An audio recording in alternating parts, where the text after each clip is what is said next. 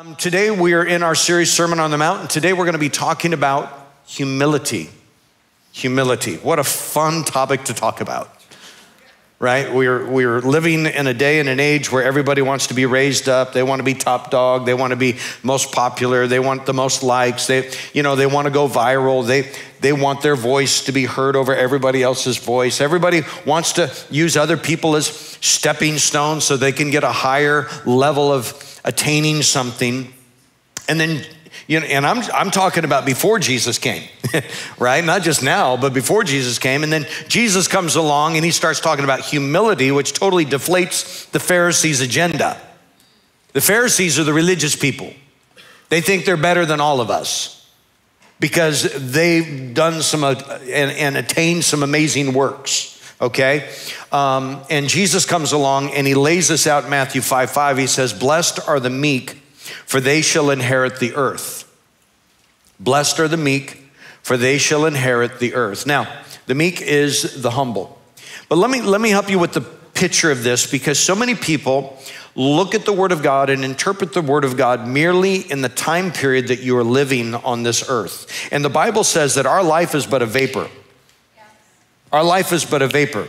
And so what happens is people read this and go, Blessed are the meek, for they shall inherit the earth. And they're trying to figure out, well, why aren't we doing a better job on the earth then? Why aren't more humble people, you know, doing greater things in this earth? Because it's the prideful ones and it's the arrogant ones and it's it's the ones that think that you're too stupid and I'm too stupid to figure out how to live. So they're going to tell you how to live and take away your natural gas because you might burn yourself and, and cows are farting too much. And so we're going to destroy the planet. Are, are you, come on. So, so how is this happening? Quit looking at it from the vapor time period that you're living on this earth. Look at it from an eternal perspective. There's injustice that happens on this world, on this planet all the time. Bad things happen to good people. But don't just look at it in this point of view. There are some pastors that would basically tell you that the disciples were failures because they gave their life, they, they, they weren't prosperous. They have the greatest prosperity. They gave their life for the gospel of Jesus Christ, and they're going to wear a crown that many of us will never wear.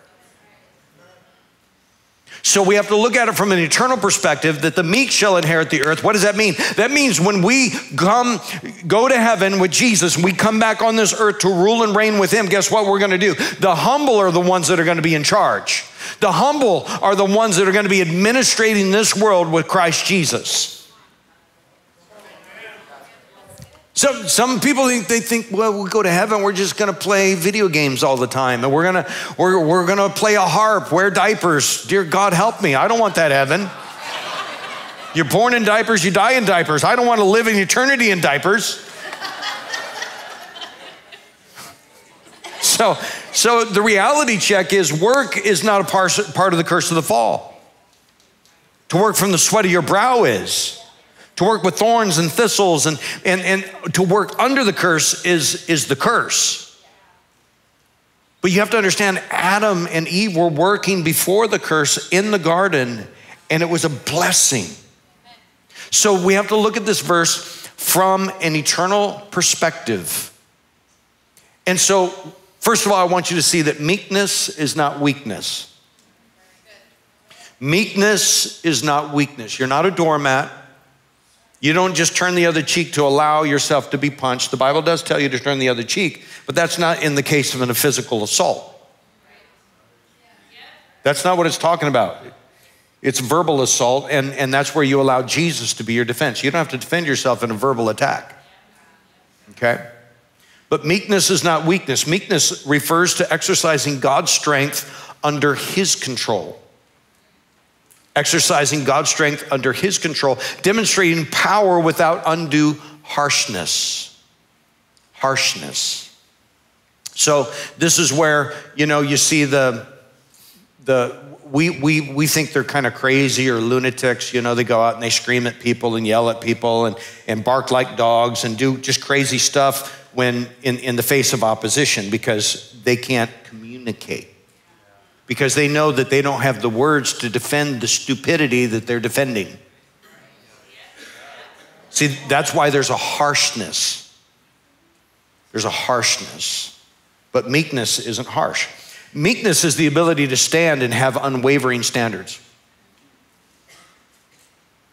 It's the ability to stand and have unwavering standards. I think about parents that go to the school board meetings and stand and have unwavering standards to hold these crazy people that are trying to, to sexualize our kids and destroy the minds and the purity of our kids.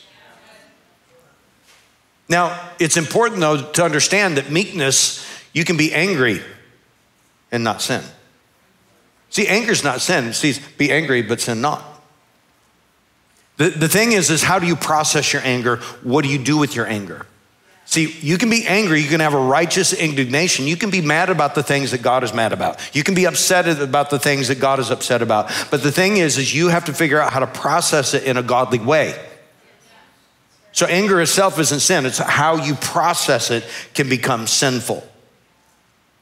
Meekness is the ability to be kind but assertive, not to be a pushover. The ability to fight and not be cruel the ability to fight and not be cruel. How about in times of war? In times of war, there's times to fight and there's times to allow people to surrender. Okay? It's the ability to speak truth and not lose control. The ability to have emotions but not be ruled by them.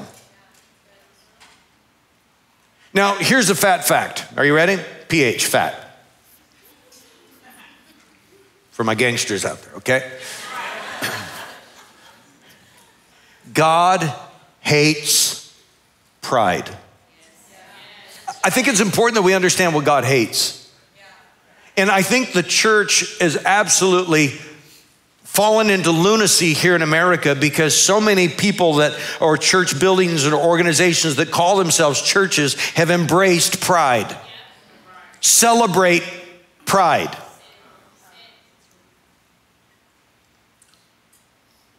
Proverbs 8:13 says all who fear the Lord will hate evil. Therefore I hate pride and arrogance, corruption and perverse speech. Look at that. I hate pride and arrogance, corruption and perverse speech. God hates this. How dangerous is it to embrace something that God hates? How dangerous is it to celebrate something that God hates and detests? And, and this is where, you know, I look at, and isn't it amazing how the devil has named it the pride flag? The pride flag. And there are churches, you can, you can drive through, through Puyallup and Tacoma, and you can see churches that hang the pride flag in celebration of pride, arrogance, corruption, and perverse speech. God hates it. Oh, but we have to be diverse. We have to be inclusive. We have to have equity. Equity for who? Equity for who? Because you know one thing I found, you know, when, when Ferguson, the Attorney General, put together his domestic violent extremist program uh, in tandem with the uh, uh, FBI and working with Homeland Security to figure out how they're going to address these domestic violent extremists, they were putting together a, a board or a committee, and you'll see every religion represented but Christianity. Hmm, yeah, a lot of diversity, isn't there?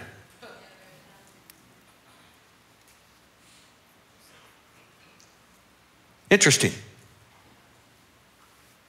See, the problem with America is we've misplaced the importance on people that aren't important. We put importance on people that aren't important, professional athletes and actors. Oh, wow. You're really good at a sport, but you suck at marriage and being a parent. Yeah, let's listen to what you have to say.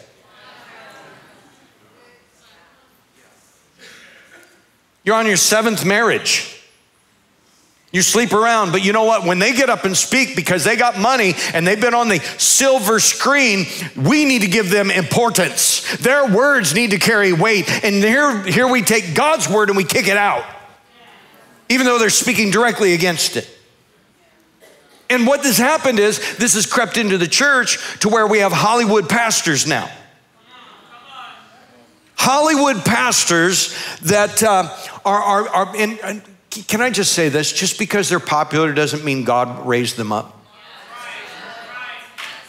Just because they have a big platform does not mean that God gave them that platform. Because the Bible says that people will raise up teachers with itching ears. They have itching ears and they want to hear that. So what are they going to? They're going to elevate. The devil can elevate people that have a title pastor. Why? Because they're lukewarm. They're milk toast. They're sop.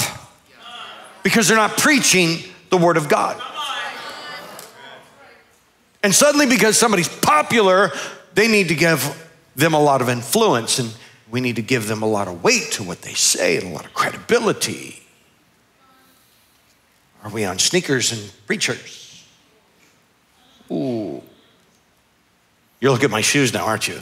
I knew that. I knew. I knew. I will never be on that. I, right? I, I walked in. I was with Jack one time, and we were in the Dubai Mall, and we walked into Prada. I was with a pastor one time and I'm like, dude, those are cool shoes. What are those? He goes, Prada. And I went, what's that? you know, I, I was missing my toothpick. What was that?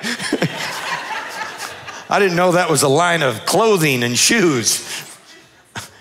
Remember, I went to special ed, okay? So, so we walked into the store and I see Prada. If you have Prada, God bless you, okay. But I walked in and I looked at the, and the, and the person come over and, and, and, and, and I looked at the price on the shoes and they were like $1,500.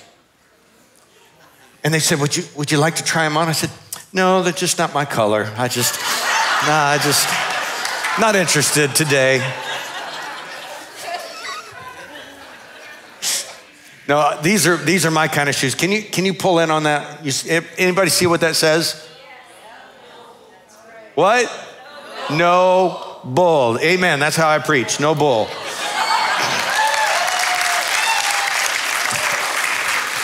Proverbs 16, 5. The Lord detests the proud, they will surely be punished. The Lord detests the proud. Do you want to know what the Bible says about Sodom and Gomorrah? Ezekiel 16, 49 said, Sodom's sins were pride. What? What? Pride. What does God hate? Pride. You know what is the basis of pursuing your sexual freedom? Pride. Self gratification. Doing what you want, when you want, how you feel it. It's hedonism at its finest. The pursuit of personal happiness and personal fulfillment for the moment that you're in. So, Sodom's sins were pride, gluttony, and laziness. Sounds like America. while the poor and the needy suffered outside her door. She was proud and committed detestable sins, so I wiped her out, as you have seen. So, pride is what God hates, but then Jesus comes along. He gave up all of his royalty, put on human flesh. Matter of fact, Philippians 2 5 is showing us the example that we are to follow as born again Christians, okay? Now, if you don't want to do this, then don't be a Christian. If you don't want to walk in humility, don't be a Christian. Just embrace pride while you can because hell's hot, eternity's a long time, so enjoy it while you got. But Philippians 2:5 says you must have the same attitude that Christ Jesus had. Though he was God, he did not think of equality with God. What is that? Equity. He, right? What, what do we hear the world yelling? Equity. Yeah. Equity. Humility doesn't raise you to a higher standard. Humility says, I'm being compared not to human standard, but to God's standard. So he said he did not think of equality with God as some would cling to. Instead, he gave up his divine privileges. He took the humble position of a slave, under, underscore that, and was born as a human being. When he appeared in human form, he humbled himself in obedience to God and died a criminal's death on a cross. So, what happened after he humbled himself? It says, therefore, say therefore. Therefore, therefore means, let me tell you what this is there for. All right? God elevated him to the place of the highest honor, gave him the name above all of the names, that the name of Jesus, every knee should bow. Everybody's gonna be humbled. Every knee should bow in heaven and on earth and under the earth, and every tongue declare that Jesus is Lord to the glory of God the Father. Now, this is our example. This is what the Bible is telling us to do, that we should follow this example. And so, if God hates pride, he loves humility. So, let's look at our role now. Because Jesus is the example, let's look at our role in 1 Peter 5 5. It says, and all of you, who? All. all. That's every born again believer, there's no exceptions. All of you dress yourself in humility as you relate to one another, for God opposes the proud but gives grace to the humble. So humble yourself under the mighty power of God, and at the right time, He will lift you up in honor. Okay, I want to unpack this. Say dress. Dress in the King James, it uses the word gird. Gird yourself up. Uh, same would go to the armor of God. Gird up your loins, okay? But gird here literally means to put on something. I brought this. This was a gift. I do not proclaim this over myself. Somebody actually did this. I did not print this up and say, Yes, I made an apron. You guys made this up for me, and the kids signed it and everything. I don't know if they believe it or not, but. But to gird means to clothe or dress yourself. But not in the way that we would think putting on clothing, because you already have on clothing. So, this is to say that you're to put on something to distinguish you from others. To gird here is the term that would be used as a slave would put on an apron to say, I'm ready to work. And, and a slave, in the, in, the, in the days that this was written, the slave would gird them up, tie it in a knot so it doesn't come off and therefore they are distinguished from other people. You've clothed yourself, you've put something on, and I have separated. This is my uniform as a born again believer. I have girded myself in humility, I have girded myself in God's expectation of my role. What this means is when somebody dresses in humility, you should be able to notice it. There should be an immediate impression. Like if somebody put this on social media, please don't. If somebody puts it, because why is Pastor wearing a dress? I'm not. It's a hospital gown. See?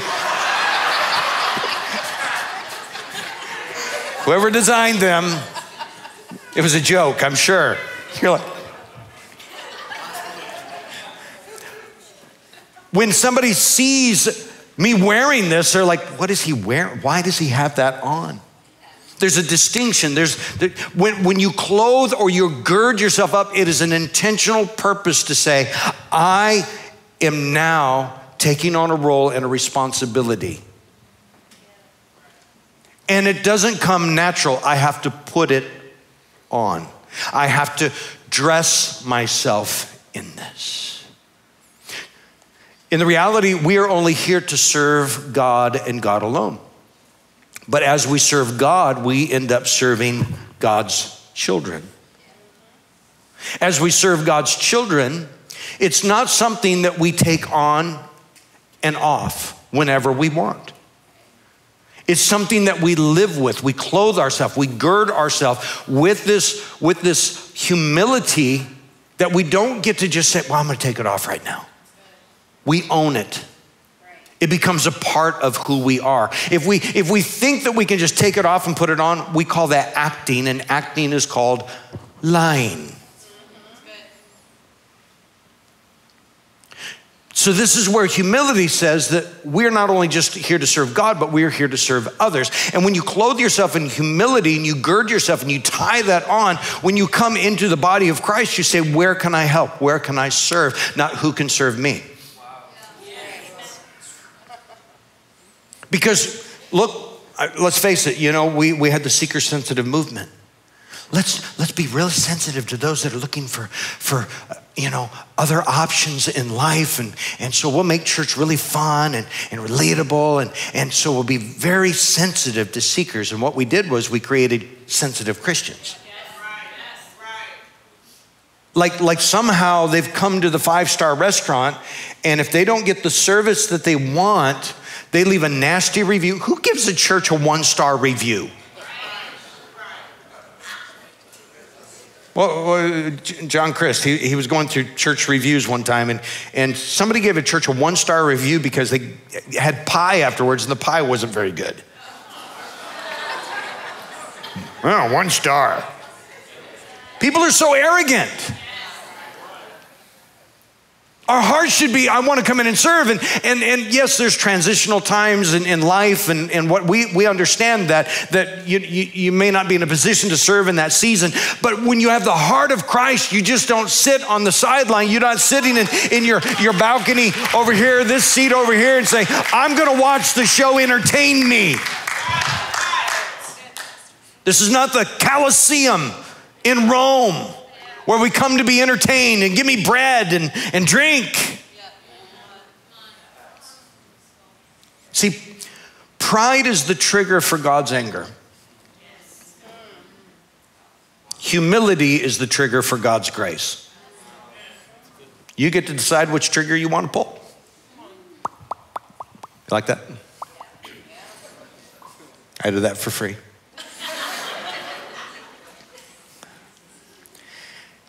Check it out. Matthew 23 12 tells us this. Remember, pride is the trigger for God's anger, humility is the trigger for God's grace. It says this, Matthew 23 12, but those who exalt themselves will be humbled, and those who humble themselves will be exalted.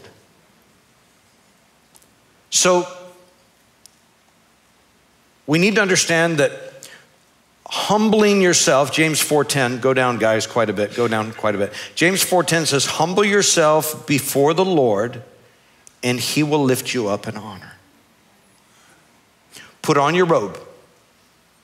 Put on your apron. Put on and leave it on. Clothe yourself and then you watch god open doors because he knows when you go through that door you're going through the door for the right reason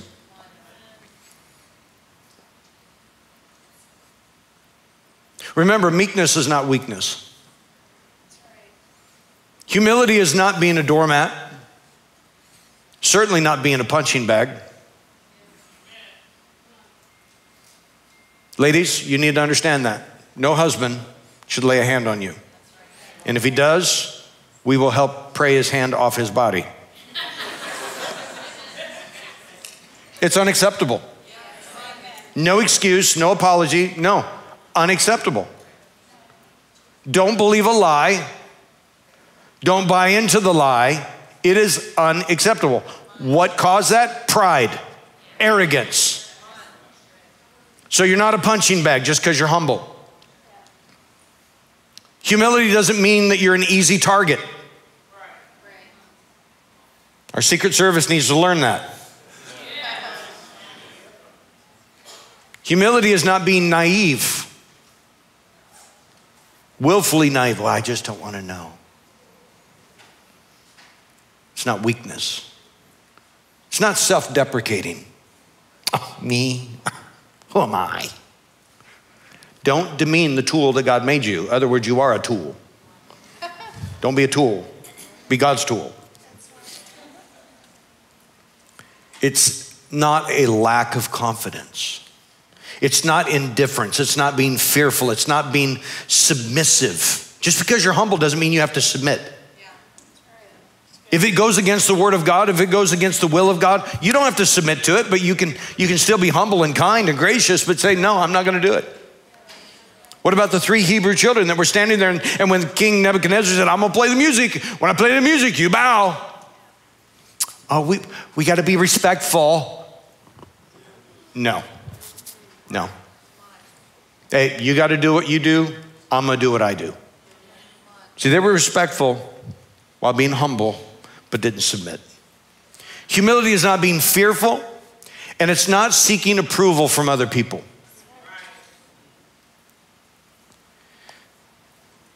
The greatest form of humility is being able to serve other people, help other people achieve what they can't by themselves. And, and so many people say, I want to get to the summit. I want to go up. I want to achieve. But if you understand that if you can help somebody else summit, you will be at the summit too. And then you have somebody to take a photo with.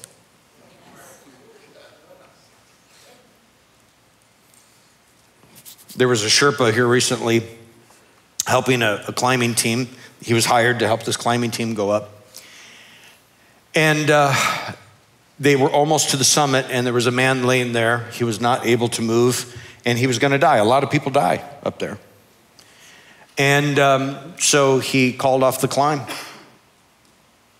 And he wrapped that man in a sleeping bag and wrapped him in an, another uh, soft piece of, uh, it's, it's what you lay on to sleep on in the snow. Wrapped him in that, put him on his back, and carried him six miles down the hill, down the mountain. Six miles to save his life. Sometimes you have to understand what's more important. Getting to the top and say, look what I did, or helping somebody get back down.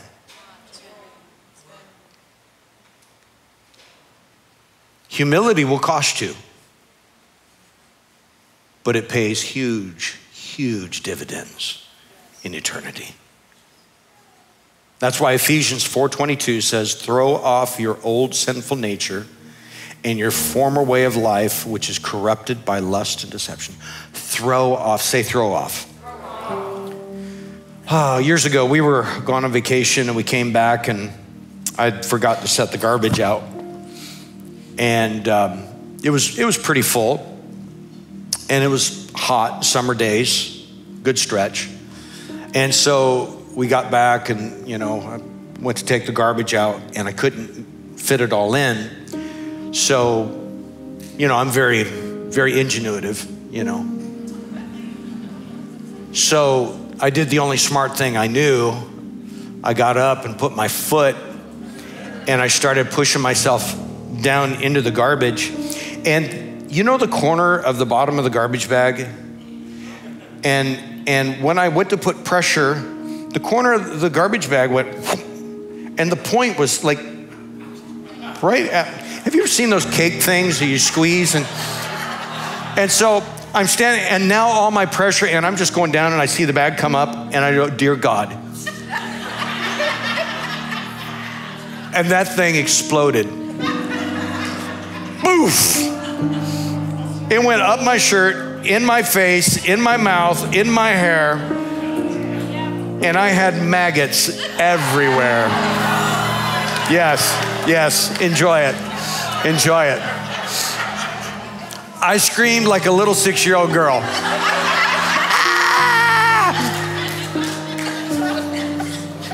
I, wasn't proud of the moment. I was not very manly. run into the house, jump in the shower, crank the hot water on, clothes and all, and I'm just praying in tongues. Oh God!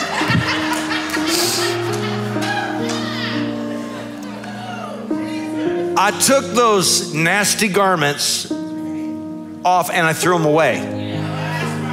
I don't ever want to be reminded of that moment again when I wear, oh yeah, I had maggots on this shirt. Well, I, right? and you know soap maggots falling in the, like stomping them down the drain it was awesome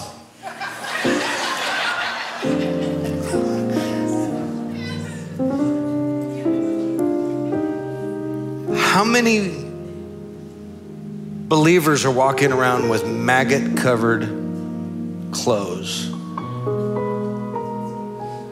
yeah, that's past life, but you haven't taken it off and you've not put on the garment that God has for you. And, and you know, with pride, there is a stench. Well, there was a stench coming out of that bag. Okay? And with pride, there is a stench. But with humility, there's a fragrance. You just want to be around that. Oh, that smells good. Remember when grandpa would walk in and it's like, Old Spice is home. ah! there's a fragrance about humility, but you know what? If you're not born again, there's a stench that's going to take you to hell. But you, you, can, you can change clothes. You, you can make the difference right here, right now. You can surrender your life to Jesus Christ. You can say, Jesus, be the Lord of my life. Forgive me of my sins. Because the wages of sin is death, it's hell, it's eternal, it's fire, it's punishment. That's what the Bible tells us. And this is why Jesus humbled himself, put on humility, sacrificed himself, died a criminal's death for you and I, and rose again so that now we can rise again. So today, if you want to be born again, maybe for the first time, or you want to renew your commitment, bow your heads with me, close your eyes if you're here today and you, you want to surrender to Jesus. I want you to lift your hand right now. Jesus said, If you acknowledge me before others, I will acknowledge you before my Father in heaven. If that's you, just lift your hand right now. We're going to pray a prayer of salvation. Lift it up so I can see you. This isn't an auction. This is your moment to choose Christ Jesus as your Lord and Savior. If that's you today, anyone at all. All right, let's pray with those that are watching live on the internet. Heavenly Father, come into my heart. Be the Lord of my life. Forgive me of my sin. I accept your Son Jesus as my Lord and Savior. Live in me as I live for you. In Jesus' name. And everyone said, Amen, amen.